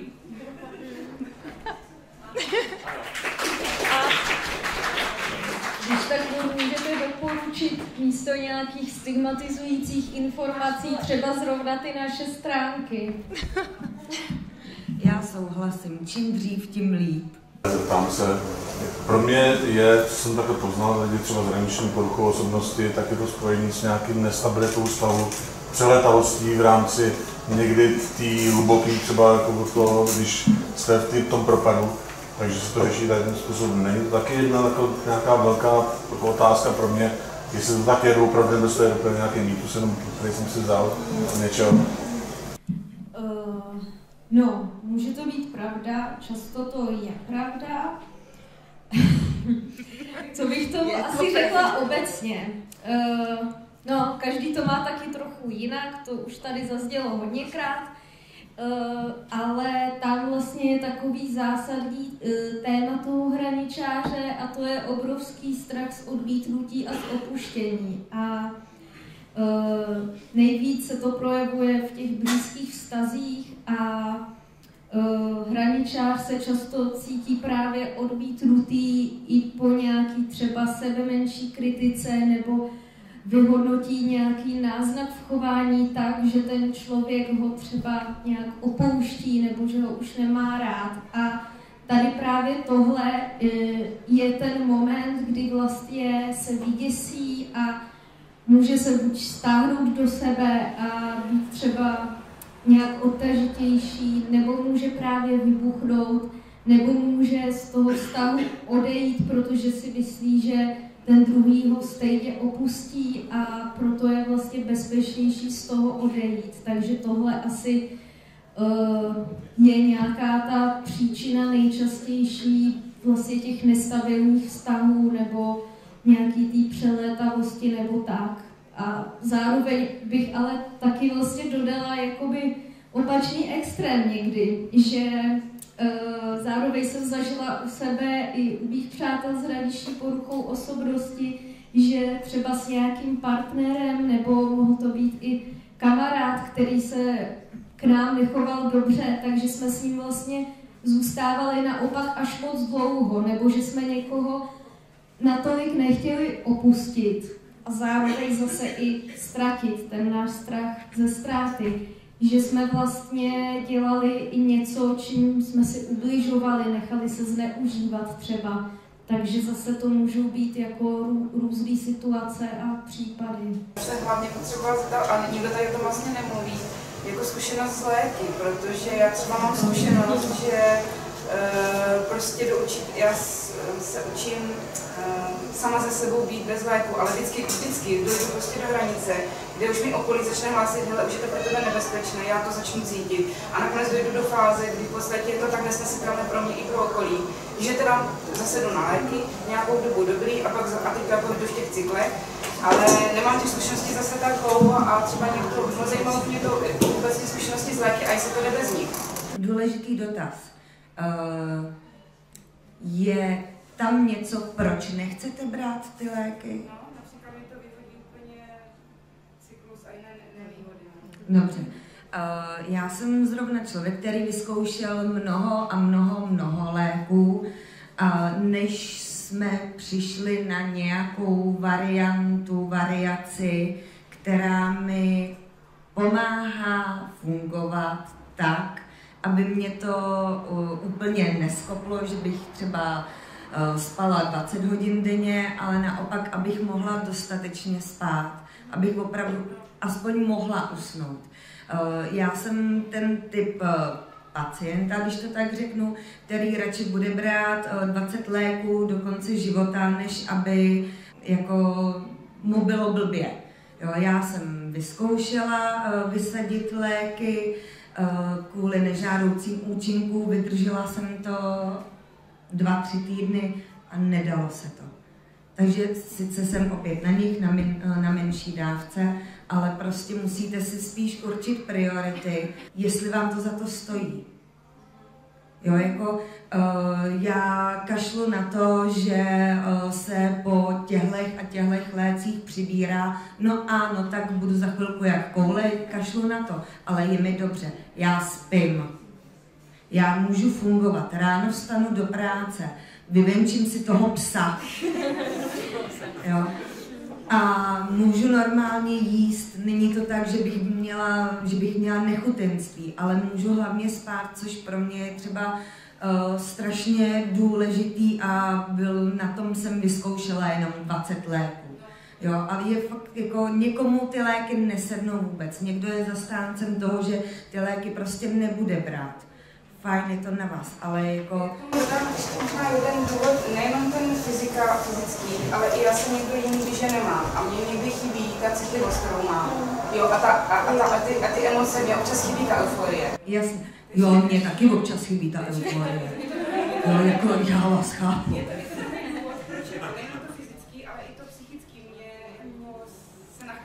Do toho asi jako je potřeba nějak dojít. Jak jsem říkala, že eh, nedonutíte člověka vyhledat pomoc, protože si první musí nabít tu držku, tak eh, tady je to jako to samý. K tomu dotazu, jestli to jde bez léku, jde to. Já jsem bez léku funguji pět let, normálně, mám práci, prostě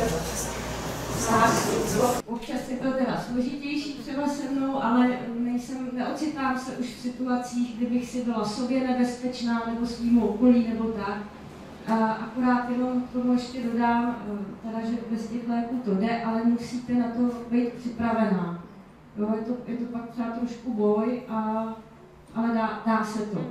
Ale musí, musí to přijít v ten správný čas. Jo, pro někoho třeba je to prostě na delší dobu, někdo bude ty léky brát do konce života, opravdu je to individuální, ale jako dá se fungovat i bez léku. Ale i s lékama. Ale i s lékama. No a já mám třeba zase zkušenost, že uh, léky vyloženě čistě na deprese, díky vynálad a tak dále mě třeba nepomáhaly, mě to naopak taky ubližovalo, brala jsem je vlastně nebo nedobrovolně, byla jsem po nich většinou právě spíš utlumená a byly to prostě nějak nevhodně zvolený léky, takže jsem naopak nemohla fungovat a ztratila jsem právě taky to prožívání. Takže třeba pro mě bylo zrovna tohle, že fakt jsem zjistila, že tudy cesta nevede. Takže já třeba osobně jediný, co mi kdy pomáhalo z toho všeho, co jsem vyzkoušela, tak léky na spaní a uh, léky na úzkost, který teda zrovna nedoporučuju brát dlouhodobě, protože uh, na ní vzniká závislost. A jinak třeba hodně jako vdívám, že ta moje cesta byla fakt v té psychoterapii od začátku vlastně jsem to tak vnímala, že to nějak asi bude, nebo že ty léky pro mě nejsou to pravý, takže zase každý to má v tomhle trošičku jinak, no. A určitě jako za mě nějaký trvalější změny jde hlavně u hraniční poruchy docílit tou psychoterapií, ale samozřejmě, no, jak říkala Bára, spoust, spoustě lidem léky pomáhají, záleží, jak to máte vy.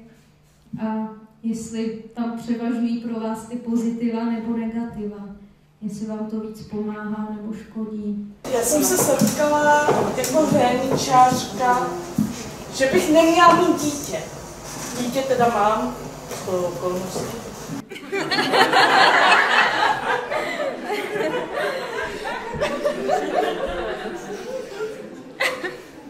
Ale jak je to třeba s tou dědičností, že vždycky jsem se setkávala i v knihách, jestli to může zdědit můj syn, moje. Osobní průzkum jsme nedělali, takže...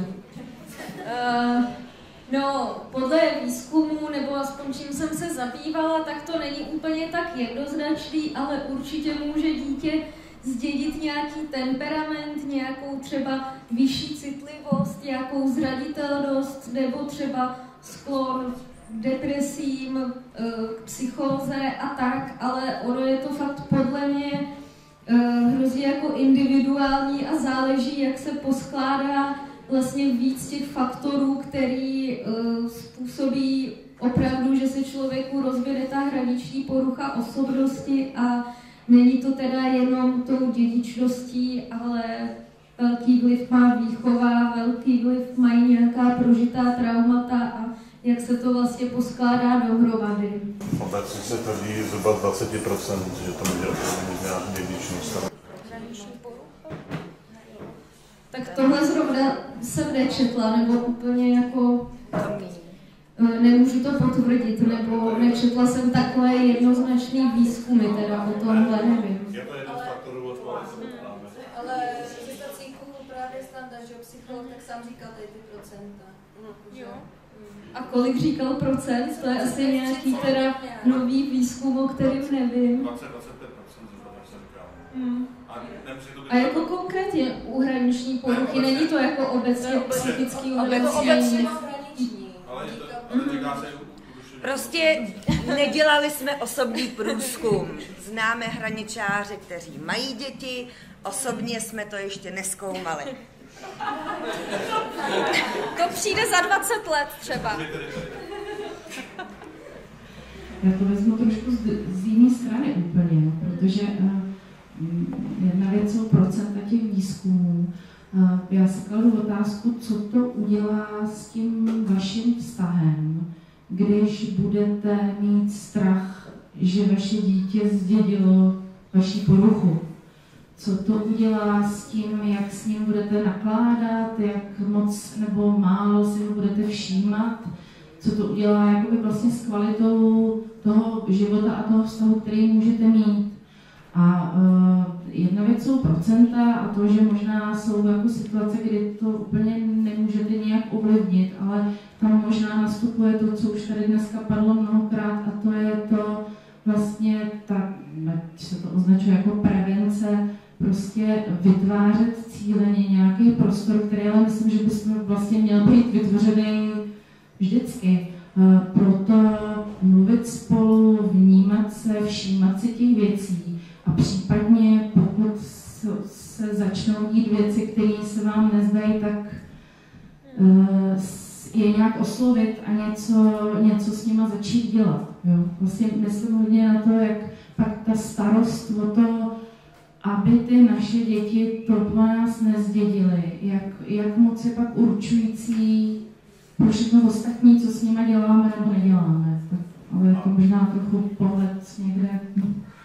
Já jsem si, že život je o rizicích, takže jako to, že si budeme říkat, že tam to riziko je, ono je vždycky. I u zdravého člověka, je plno lidí, kteří se neléčí, přitom by měli podobně. Tímto končím naší besedu. Končím. končím